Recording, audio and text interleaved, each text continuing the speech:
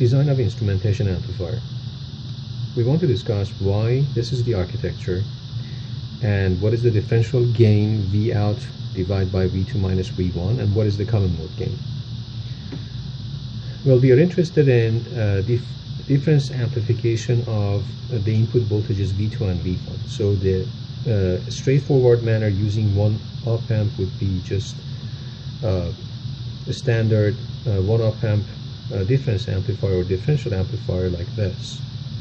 Um, so it can be done this way, but there are problems, um, including the fact that now uh, we are directly connecting V1 and V2 to these resistors and V1 and V2 could be two voltage sources coming from two sensitive sensors that are not able to provide current to the circuit.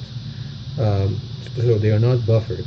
Uh, we are interested to either impedance match with input voltages V1 and V2 or having them buffered so that they just deal with very large impedances so that they don't need to provide any current to the difference amplifier or differential amplifier. So uh, the easiest way would be buffering these guys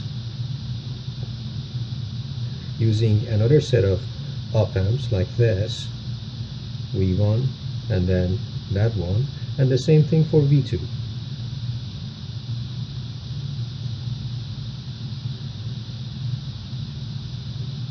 this way uh, the input impedance that they are observing that each, each of these voltages observing is infinite um, and then they can drive the actual differential amplifier. The only problem is now we are only limited to the gain that is provided by this circuit, which is minus R2 over R1 or R3, uh, minus R3 over R2.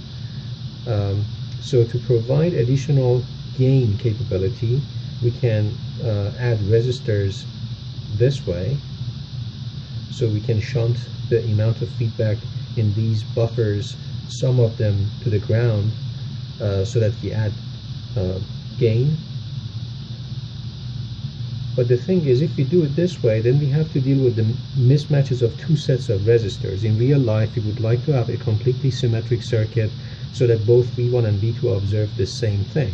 So we have to match these two resistors and these two resistors to, to reduce the amount of matching requirement. Um, and effectively, the one that is shown here is like this. So rather than having two resistors here we can um, disconnect it from the ground and we can only we can just insert one resistor uh, effectively we can show this design with one resistor this way um, so now you know the story behind this architecture and we can have a potentiometer or uh, variable resistor here so that by changing the value we can change the gain of the whole circuit